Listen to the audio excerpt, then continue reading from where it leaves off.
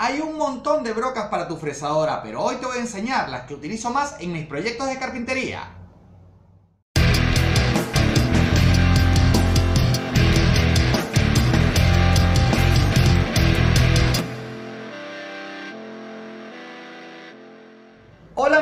La carpintería, hoy estás en tu canal favorito Carpintería Creativa Moderna por un servidor Domingo Freire. Y hoy te traigo un video muy interesante porque cuando empiezas a avanzar en esto de la carpintería descubres que hay una herramienta muy importante que utilizamos todos los carpinteros para dar grandes acabados a nuestros trabajos que es la fresadora y por consiguiente tenemos que saber cuáles son las brocas que va a utilizar nuestra fresadora. Y resulta que hay un montón, pero tú habrás visto en muchos de mis videos que utilizo varias diferentes. Y hoy te voy a hablar de los aspectos principales de cómo reconocer las diferentes características de estas brocas y un poquito para qué se usan, cómo las calibras, pero en líneas generales quédate porque este video seguro te va a parecer muy interesante. Y quiero comenzar agradeciendo a todos los patrocinadores de este canal e invitarte a ti a que entres ya a patreon.com slash domingo freire y formes parte adquiriendo cualquiera de los tres niveles de membresía con los que harás un pequeño aporte mensual que contribuye a que hagamos más y mejores videos para todos los que aprenden gratis carpintería en este canal. Vamos a entrar de una vez en materia y lo que primero que tenemos que conocer son los tipos de fresadora en los que vamos a poder colocar nuestra fresa o nuestras brocas de fresadora. Y lo primero que tenemos que saber es que esta herramienta se conoce en nuestros países de América Latina con varios nombres. La conocemos como fresadora en mi país, Venezuela. Es muy común que la llamen trompo. También algunos la llaman rematadora de fórmica, que ya les explicaré por qué ese no es el nombre más adecuado. E igualmente también la conocen como tupia o tupí. Y existen en líneas generales dos tipos de esta herramienta. Simplemente están divididas porque una es más grande que la otra. Una es pequeña que es conocida como router, tupia, tupí o fresadora de palma. Y se llama de palma porque la podemos manejar con una sola mano. Lo más típico de este tipo de fresadora es que lo utilicemos para rematar o para un acabado de cortado final a los laminados de alta presión, que sí, muchas veces conocemos el material con un mal nombre, que es un nombre de una marca, como es Fórmica. Y resulta que recuerden que Formica es una marca, son laminados de alta presión y los remataremos normalmente con el uso de una fresadora de palma o una rematadora de fórmica como la van a encontrar en muchos países. Pero es bueno que lo sepamos el nombre verdadero, una fresadora de palma. La otra que conocemos comúnmente y que la utilizamos para trabajos un poco más fuertes es un router, fresadora, tupia o tupí que lo tenemos que sujetar con dos manos. Esta misma fresadora la podemos encontrar ubicada debajo de una mesa y muchas personas prefieren el uso en una mesa que el uso a mano. Que ustedes verán que en casi todos los proyectos que yo utilizo un router o una fresadora, es una fresadora que utilizo con mis manos, a manos libres por lo general. Aunque ya veremos que lo importante de esta fresadora es que limitemos el movimiento para que tengamos una guía de por dónde pasamos. Aunque por acá te voy a dejar un video que hice hace tiempo con el uso exacto de este tipo de fresadora. Muy en especial la fresadora de base fija, porque sí, de las fresadoras grandes vas a encontrar dos tipos también, las de base fija y las de base móvil, que te permitirán hacer trabajos con ciertas pequeñas diferencias, pero todas ellas son muy prácticas para todos los que estamos abordando proyectos de carpintería. En líneas generales, las partes de una broca son el pin de encastre, que es la parte que entra en nuestra fresadora, que puede variar generalmente en dos medidas en media pulgada o un cuarto de pulgada como esta que es por acá. Un cuarto de pulgada son aproximadamente 6 milímetros para los países que manejan mejor los milímetros que las pulgadas. Igualmente tenemos otra parte muy importante que es la sección de corte, que es toda esta superficie que vemos en esta broca por acá, que tiene las partes cortantes que permitirán hacer el fresado. Y esta adicionalmente tiene la característica de tener un rodamiento o rolinera, que no todas lo tienen, ya vamos a conocerlo más adelante.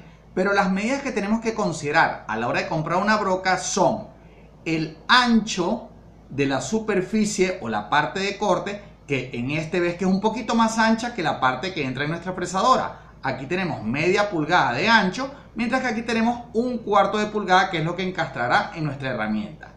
Y también tenemos que saber el largo de lo que es la superficie que nos permitirá cortar nuestra broca, porque no es lo mismo que tengamos que cortar, fresar o trabajar con un material de 9, 12 milímetros, 18 milímetros o quizá un poquito más.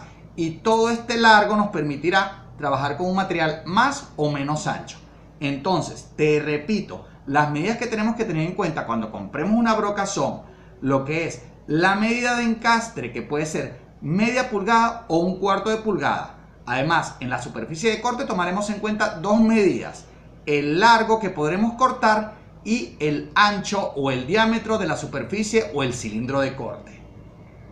Lo primero que salta a la vista para diferenciar las brocas es la presencia o no de un rodamiento. Fíjate que aquí tenemos en ambas brocas lo que es la pieza que encastra y el cilindro de corte. Pero esta, a diferencia de esta, tiene aquí un rodamiento o rolinera que nos permite copiar una plantilla basando la forma por la que estemos pasando nuestra fresadora en una plantilla o una pieza que hayamos cortado anteriormente. Mientras que con esta tendremos que limitar el camino por el que haremos el fresado basándonos en lo que es la base que tiene contacto en nuestra herramienta con la superficie de fresado. De una vez puedes darle me gusta a este video y si no te has suscrito pues ¿qué esperas? Hazlo ya. Aquí tenemos las tres brocas que solemos utilizar cuando queremos dar un remate a lo que es un laminado decorativo o una fórmica como la conocen muchos de ustedes. Y aquí vemos dos que son las que seguramente habrás visto en muchos de mis videos de carpintería que no tienen un rodamiento. Esta es la broca recta con rodamiento que te permitirá simplemente pasar la superficie de corte e ir haciendo el remate recto con el material en el que hayas pegado ya tu fórmica mientras que esta no tiene el rodamiento. Y hay dos que son particularmente parecidas, pero no son iguales, que son esta, en la que podrás ver acá que tenemos un corte recto. Ves que aquí tenemos una superficie que está igual de ancha acá que en lo que es el corte, fíjate cómo es. Mientras que aquí tenemos una que es muy parecida, pero que tenemos aquí que esto es más pequeño y a esto tiene un pequeño ángulo de 7 grados que nos permite que el remate de la fórmica o del laminado decorativo sea mucho más ceñido al borde de lo que es el material MDF o madera en el que estemos trabajando. Aquí tienes varias de las que yo utilizo normalmente y te voy a decir cómo las vas a pedir en tu proveedor de materiales de carpintería o en la ferretería donde vayas a comprar cualquiera de ellas. Recuerda que te vas a basar siempre en las tres características que hablamos anteriormente lo que es el encastre, la superficie de corte y el si tiene una rolinera. Ya vimos que las tres primeras son las brocas que utilizamos para rematar los laminados de alta presión. Luego, de aquí en adelante vas a ver unas brocas muy parecidas que son las brocas de corte recto. ¿Qué significa esto? Que la superficie de corte está haciendo un corte perpendicular, un corte en 90 grados con respecto al ataque de la fresadora y todas ellas tienen un rodamiento que es del mismo ancho que lo que es el cilindro donde está ubicada la hoja de corte. Esto ya te dije que te va a permitir que por el camino por el que está va caminando o rodando el rodamiento va a ser copiado exactamente con el material que hayamos decidido cortar. Fíjate que las tenemos de varios largos y de varios anchos. ¿Qué sucede cuando variamos el ancho del cilindro de corte. Aquí puedes ver que esta, por ejemplo, tiene tres hojas de corte y esta tiene dos.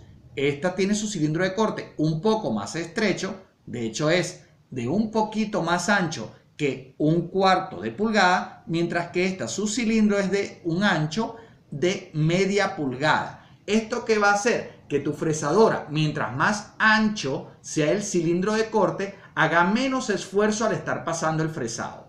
Y aquí podemos ver una broca que es hermana de estas, pero no es una hermana gemela. Es una broca de corte recto, pero su rodamiento o rolinera está en la parte superior. Esto lo que va a hacer es que la plantilla o la forma que estás utilizando para definir el corte va a estar, en vez de abajo, va a estar arriba. Todo esto, el abajo y el arriba dependerá si estás utilizando tu fresadora a mano o si está instalada en tu mesa para router. Igualmente aquí podemos ver otras brocas que utilizo mucho en mis proyectos de carpintería.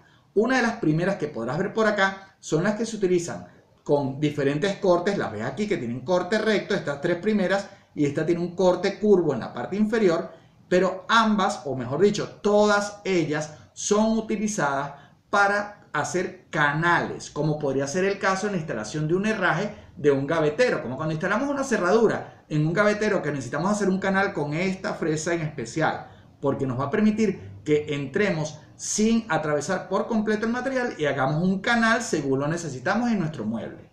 En cambio, esta que tiene un corte redondeado en la parte inferior nos permite hacer un corte o un canal con esa forma. También podemos ver aquí que tenemos brocas asistidas con un rodamiento, pero cuyo corte no es recto. Ves que la forma del corte, en este caso, es un corte a 45 grados, que seguramente te servirá para hacer un encastre tipo francés para sujetar tus gabinetes a la pared. Igualmente, por acá puedes ver unas que tienen un corte de borde redondeado que nos permite hacer un acabado uniforme redondeado en los acabados de los muebles que hagamos con madera y seremos mucho más precisos que si simplemente queremos utilizar una lija. La fresadora nos va a lograr dar un mejor acabado en todo lo que hagamos. Por acá tengo lo que yo llamo brocas de corte especial y en líneas generales tiene unas características parecidas a las otras pero nos permiten ciertas características según lo que queramos lograr. Fíjate que en la parte inferior de ambas tenemos un corte, ¿verdad? O, una, o un material para cortar. Esta tiene una especie de broca que te permitirá ingresar en tu material y posteriormente a ello esta superficie te permitirá ir copiando una plantilla en la que estés utilizando. De repente quieres utilizar la parte superior de tu broca para hacer un corte con el que estás copiando una plantilla y esta pieza, al igual que en la broca del rematado de la fórmica, te va a permitir seguir una forma sin poder atacar más adentro lo que es la superficie que estás fresando. También por acá vemos una que tiene una forma bien particular que nos permite hacer unas ranuras cuyo corte interno sea más ancho que el que vemos exteriormente en el material que estamos fresando. ¿Esto para qué te podría servir? Para que de repente hagas un canal donde puedes insertar un tornillo que te permita sujetar un material, como es el caso de los caballetes, donde a veces tenemos unas piezas que nos permiten sujetar, ¿verdad? Unos tornillos que permiten sujetar firmemente el lienzo para poder trabajar en ese mueble o en ese dispositivo que se utiliza tanto para la pintura o para exhibir afiches u otras piezas publicitarias.